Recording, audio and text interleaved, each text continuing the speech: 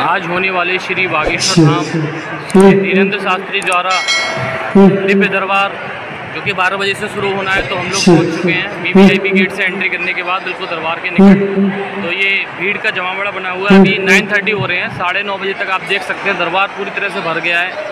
मतलब चाहे general entry हो नॉर्मल हो जहाँ तक आपकी निगाह जाएगी दरबार भरा हुआ है। लोग बैठे हुए हैं। तो आज आपको अपना ब्लॉग दिखाऊँगा मैं, कि श्री बागेश्वर धाम सरकार किस तरह से जो दिल दरबार लगाते हैं और कैसे वो भक्तों का पर्चा बनाते हैं। तो अभी तैयारियाँ चल रही हैं, तैयारी जोरों पे हैं। कल बाबा ने लगभग डेढ़ घंटे प्रोग्राम करा था, जिसमें हनुमान कथा का प्रसारण हुआ था। अभी तो आज 12 बजे का प्रोग्राम में देखते हैं बाबा जी, आने के पश्चात किस तरह से स्टार्ट करते हैं। जो ये बीच का निश्चित किया है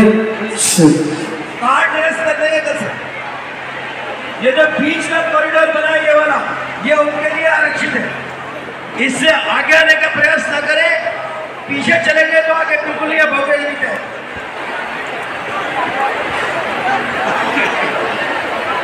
मैं बस इतना ही कहना है। शांति बना के बैठेंगे शोर नहीं मचाएँगे कोई किसी के चिल्लाने भागने पर कोई शोर नहीं मचाएगा शांति से रुके रहेंगे।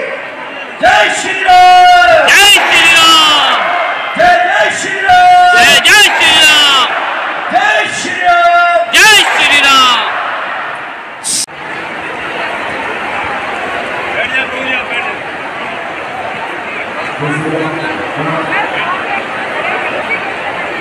करने के लिए ज़िम्मेदारी ली और आप जो है अगर बैठ करके काम करेंगे तो समस्या का समाधान नहीं होगा, आपके लिए भी बढ़ेंगे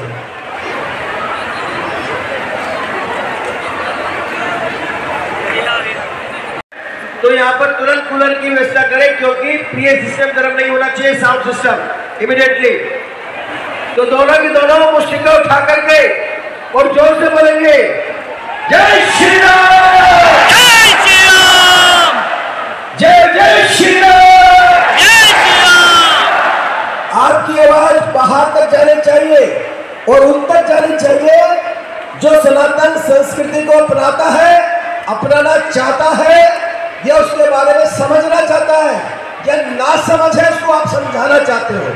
तो इसलिए ज़ोर से जानी चाहिए। सियापति रामचंद्र की आवाज़ सनातनियों की तरह निकालो, भीड़ की तरह नहीं। सियापति रामचंद्र की। जय श्री राम जय श्री राम जय जय श्री राम जय जय श्री राम जब तक मैं जय घोष करूँ इलेक्ट्रिशियन यहाँ पर आ जाना चाहिए और ज़्यादा देर नहीं पाँच मिनट से पहले पहले। जय श्री राम जय जय श्री राम जय जय श्री राम जय जय श्री राम ज़ोर से बोले कोई जिसके मुख में जिभ्या दिए ठाकुर जी ने वो चलनी चाहिए आवाज़ में निकल करके सियापति रामचंद्र की। जय जय श्री राम। जय जय श्री राम। पवन सुत हनुमान की बाबा बागेश्वर धाम की कौन कौन चाहता है कि बाबा जी तुरंत और जल्दी दिव्य दरबार पे आ जाए उठाने से पता नहीं चलेगा। इलेक्ट्रीशियन, मेरी आवाज़ सुन रहा हो तो तुरंत मंच के पास आए। हाथ उठाने से पता नहीं चलेगा, ज़ोर से बोलना होगा। और आपका जय घोष, जहाँ बाबा जी हैं, उन तक चला जाएगा कम है ये ये नहीं। जय श्री राम। जय श्री राम हाँ।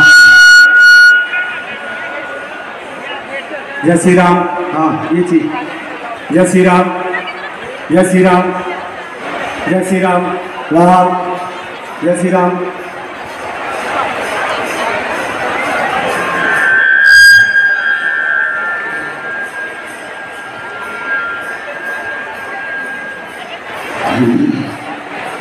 जय श्री राम हाँ जय श्री राम राम ये लोग हैं। हाँ हाँ इसको छेड़ना मत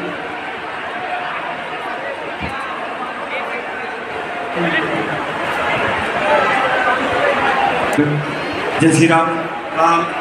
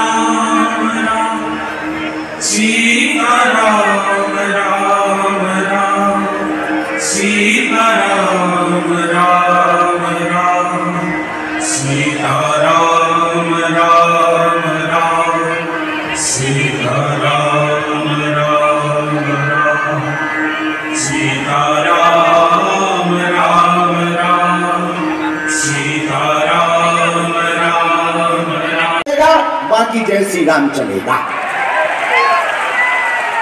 और हमारा मानना है, भारत के लोगों, दिल्ली के पागलों, हम तुम्हें जगाने आए हैं पर्चा तो बहाना है, चमत्कार दिखाना तो बहाना है, असलियत में तुम सबको हनुमान जी का बनाना है। हम चाहते कि तुम किसी तांत्रिक मौलवी मौला या किसी भी ओझा दुनिया, चाहे वो किसी भी मज़हब का हो, चाहे वो किसी भी धर्म का हो, तुम ऐसे तथाकथित के चक्कर में ना पड़ो। हम चाहते हैं कि तुम्हारी आँखों में आँसू ना रहे। हम चाहते हैं कि तुम चमत्कारों के नाम पर धर्म परिवर्तन मत करो। हम तुम्हें सिर्फ़ ये बताने के लिए दरबार लगाने आए हैं कि अपने हनुमान जी भी कम नहीं है। ऐसी कोई गली नहीं जहाँ अपने बजरंग बली की चली नहीं। और भारत के लोगों, अगर इस बार तुम नहीं जागे तो आने वाली पीढ़ियाँ इसका खामियाजा भुगतेंगी।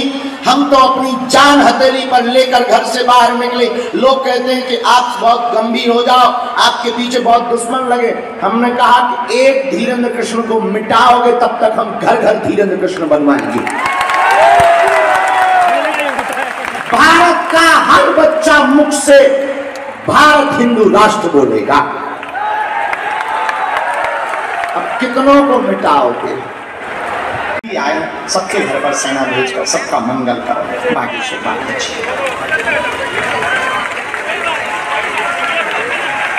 पहला आदेश।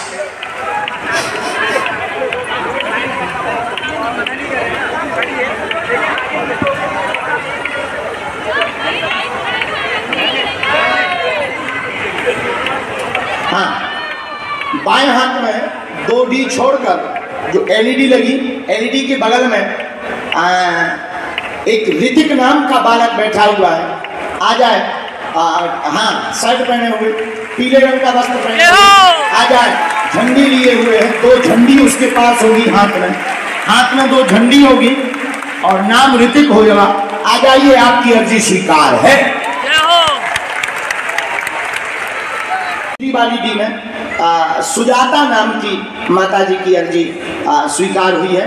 और दूसरी अर्जी लास्ट में से हाँ आ जाइए। रश्मि नाम की बहन जी की अर्जी स्वीकार हुई है जो आ, हाँ हाँ सूट पहने आसमानी कलर का और डी में बैठी। आ जाइए।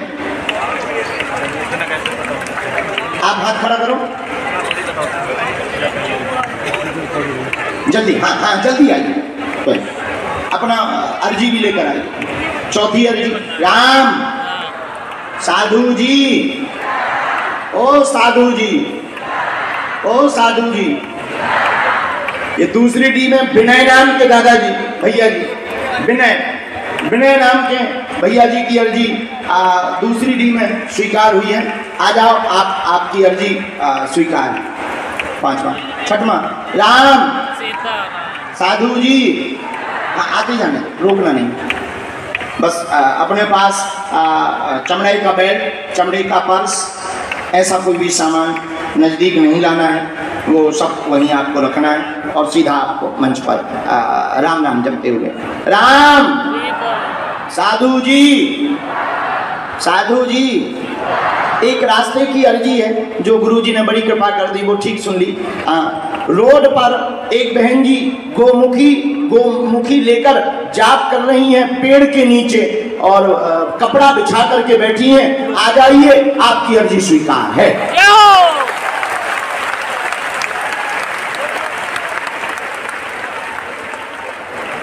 और रोड पर ही कार के पास एक और भैया, जिनका नाम बबलू है दुकान के पास कार रखी, कार के पास बबलू नाम के भैया खड़े हैं और उन्होंने घर पर भी आज अर्जी लगाई थी और आज उनके घर से भी कहा था कि जाओ, आज तुम्हारी अर्जी लग जाएगी तो जाओ, तुम्हारी अर्जी स्वीकार है, तुम भी आ जाओ। राम राम राम, साधु जी। साधु जी। दोनों हाथ उठा के बोलो बागेश्वर धाम की। इनमें से कोई भी आप तीन पूछ लीजिएगा। ऊपर से नीचे से बीच में आप जो पूछेंगी जिस नंबर का पूछेंगी वो नंबर सहित हमारे परिचय में उल्लेखित होगा। मुझे मेरी बेटी का पूछना है। क्या? है वो उसका भविष्य आगे क्या रहेगा वो क्या बनेगा? क्या नाम है? मिहिर कुमार। वो बिज़नेस करने जा रहे हैं शुरुआत है। कैसा। रहेगा आगे? आगे बढ़ेंगे या नहीं या वो जॉब भी कंटिन्यू करें आगे? जी। दूसरी चीज़ मुझे एक मेरी थोड़ी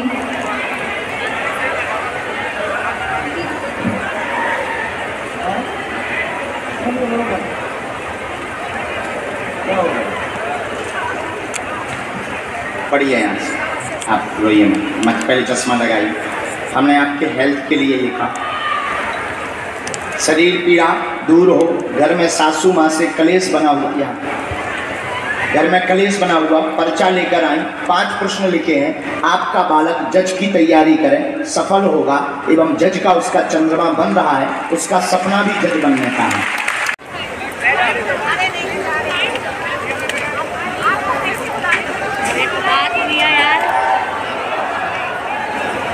हाँ भाई साहब निकालो हमें जो आज्ञा लगी हमने लिख लिया। आप पढ़े लिखे हो पूछो क्या प्रश्न है इनसे? जी। अरे नहीं नंबर का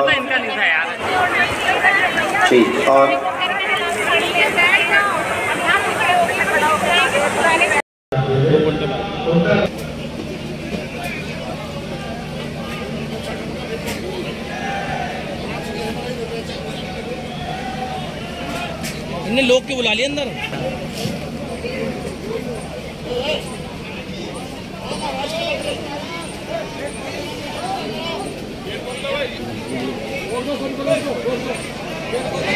बस बाबा को अकेला अंदर रोक दो सबको।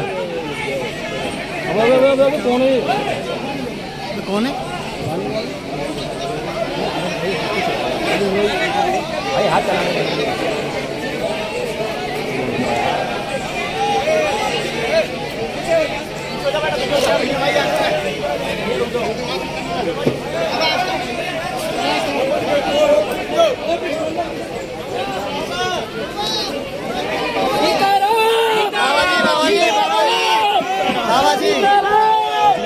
तुम बोली पैर छू लेना नहीं नहीं बस बाबा को अकेला अंदर रोक दो सबको।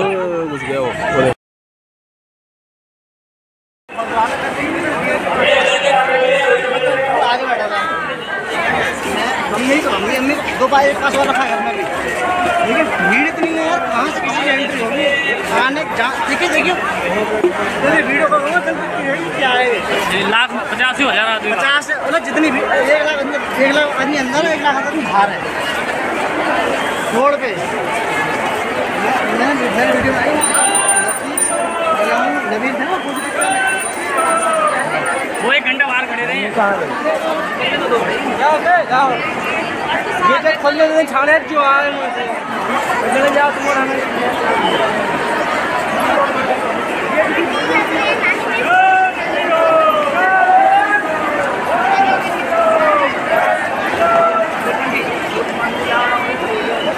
वहाँ के लोग बहुत आए रहे हैं।